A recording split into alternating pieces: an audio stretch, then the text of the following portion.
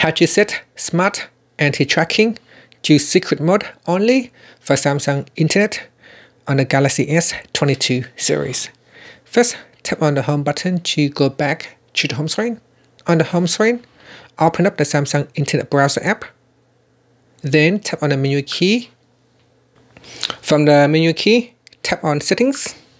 And in settings, you want to swipe up to go down. And in here, tap on browsing privacy dashboard. Next, tap on smart anti-tracking. In here, select secret mode only.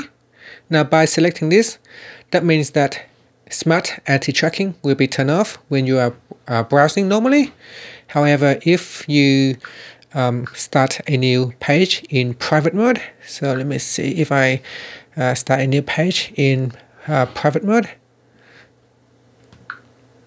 So, so if I tap on that and then tap on turn on secret mode, and in secret mode, anti um, smart anti-tracking uh, will turn on, and that's it. And if I close or turn off secret mode, then uh, once I have turned it off, then smart anti-tracking will be turned off.